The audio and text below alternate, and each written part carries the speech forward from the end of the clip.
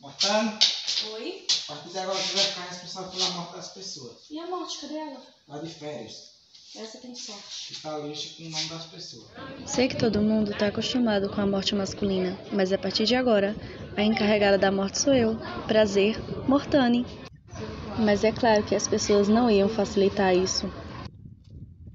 Pode ligar pra polícia, não vai adiantar nada. Eu nunca vi a polícia prender a morte.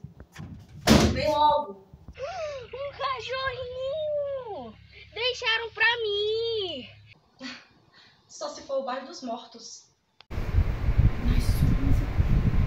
Agora eu entendo muito bem porque a morte eu fez. Daqui não sai, daqui ninguém me tira. Ah, é? Ah, é. Tava morrendo de saudade, né? É.